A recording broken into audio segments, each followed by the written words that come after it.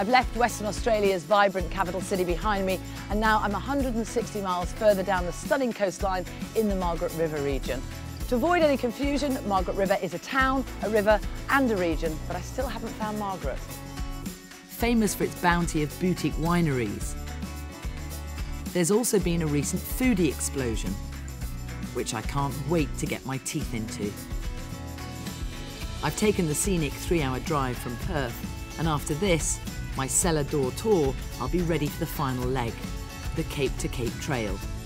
The Margaret River region is surrounded by biodiversity hotspots. Its long list of natural attractions include pristine beaches, breathtaking coastal walks, towering forests, as well as award-winning wine. Unsurprisingly, it's one of WA's most popular holiday destinations.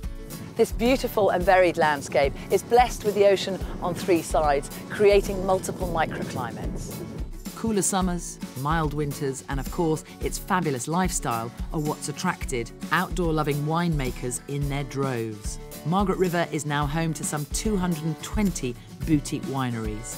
And in recent years, an exciting movement of specialty growers, supported by fantastic places to eat, have created a paradise for wine and food lovers alike. I'm at Margaret River's founding vineyard, Vasse Felix, to meet its award winning chief winemaker, Virginia Wilcock, and chef Aaron Carr.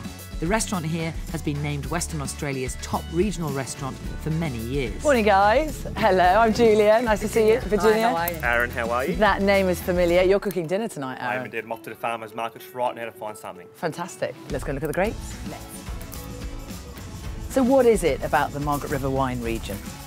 I guess the first thing is probably these beautiful ancient gravel loam soils. Mediterranean climate. These are the oldest vines in Margaret River, 50 years old this year. So Margaret River, amazing statistic, 20% of the premium wine from Australia comes from here. But I guess the, the discovery of having these ideal soils and climate, we've just seen this incredible quality growth and it's everything to do with nature, the beautiful environment that we're growing the grapes in. I'm at the Margaret River Farmers Markets. I come here every Saturday morning, I talk to the, the producers, I look at the produce, I see what's available. As a chef, it makes my life so easy to work with the local amazing produce that we have here. This is grown with the heart, not just with the, with the head, with the heart. David Hohnen is a well-respected winemaker, having founded the Cape Mentelle vineyard in Margaret River in 1970 and 15 years later, Cloudy Bay in Marlborough, New Zealand. However, just over a decade ago, he began pioneering a new intuitive approach to winemaking. Explain to me then your biological method of, of growing. Well, I guess it starts right here. We could use artificial fertiliser. We would not get that wonderful expression of minerality of Margaret River, of this site, of these soils. Recently, David extended his biological farming methods to include livestock with award-winning results. We have passionate winemakers, but we have a whole community of passionate chefs. And this is what they need, genuine paddock to plate experience. And you're coming for dinner with us tonight? Yes, looking forward to it. The view looks great, but the food and wine are going to be better. Cheers, everyone. Cheers. Thank you very much. Cheers. Great location, and the food looks incredible, Aaron. Now, when most people think about Australia, they probably think about the beaches and the sunshine, maybe not the incredible food and wine.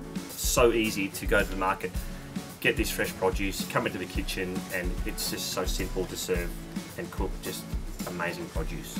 So what wine are we having with this uh, well, amazing feast? Vibrant Chardonnay from this vibrant environment is exactly um, what we love. What we enjoy here on the southwest corner is a Mediterranean climate. And that's all that's on this table, all that's in these glasses. It's all about lovely sunshine, lovely warm summers. I know you Brits love a warm summer. What's not to love?